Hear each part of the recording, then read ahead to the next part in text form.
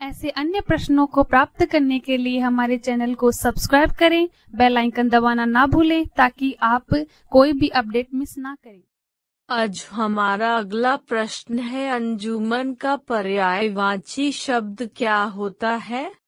उत्तर dash, अंजुमन का पर्यायवाची शब्द संघ, सभा मंडली सभायोजन संगठन होता है।